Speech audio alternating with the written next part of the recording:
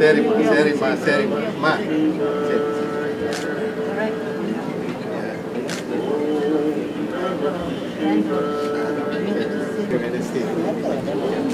Very nice big thing.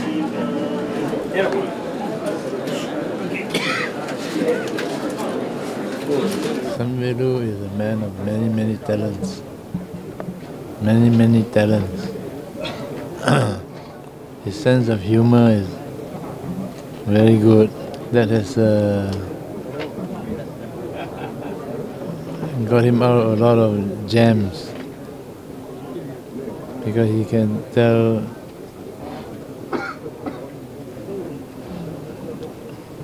about some funny thing in a very funny way, and uh, even the most serious cabinet member will be laughing away. Dr. Mahathir also enjoys some very jokes. I, of course, uh, enjoyed San company more than anything because I sit next to him. There's uh, Mahathir sits in the center, Patla next to him. Whatever disagreements we may have, it always got resolved. The Barisan way. The important thing to stress is we must always have peace and harmony.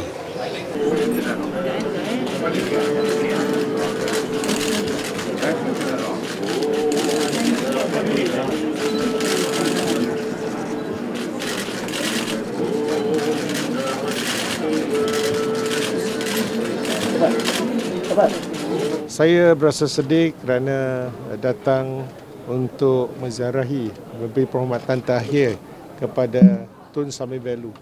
Seorang yang saya anggap uh, yang banyak berjasa kepada negara. Saya kebetulan masuk ke parlimen pada tahun 2004. Beliau adalah Menteri Kerja Raya. Saya dapat melihat dalam tempoh 4 tahun saya banyak mempelajari ilmu daripada Tun Sami Velu. Beliaulah menteri yang tidak pernah ponteng. Beliaulah menteri apa juga masalah yang kita bawa sebagai backbencher, dia akan dengar dengan teliti serta tindakan. Saya bagi contoh di kawasan saya pada masa itu pelebaran jalan 47 km daripada Batu Pahat sampai ke Keluang.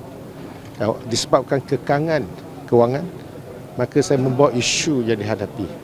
Dalam tempoh yang tak sampai seminggu, beliau mengarahkan pasukannya turun ke kawasan lihat apa yang boleh buat. Dan selepas itu mengumumkan peruntukan 32 juta untuk pelebaran jalan termasuk memperbaiki bahu-bahu jalan. Inilah satu contoh yang saya lihat menteri beliau menjadi menteri beliau faham semua soalan dijawab di, di parlimen perbahasan dia dengar walaupun kritikan dia terima dengan baik dan beliaulah seorang yang hands on tahu apa yang beliau uh, cakap dan juga tindakan segera selepas sesuatu masalah itu didengari oleh beliau. Ini contoh. Kedua, saya turut ya, pernah uh, berbincang dengan Tun Sami apabila saya menjadi Timbalan Menteri Pendidikan. Walaupun beliau tewas dalam pilihan raya, tetapi beliaulah orang yang berjumpa dengan saya minta supaya pertolongan kepada SJKT Sekolah Jenis Kebangsaan Tamiah yang mana ketika itu ada sedikit masalah yang memerlukan bantuan daripada kerajaan.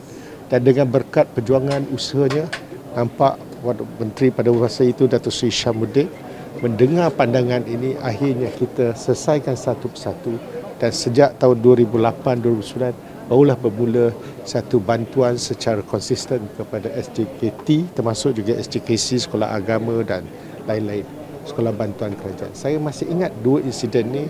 Saya menganggap beliau adalah orang yang sangat dihormati dan uh, saya masih ingat lagi pada tahun 2015 saya ketika itu menjalankan pembedahan di Hospital Kuala Lumpur.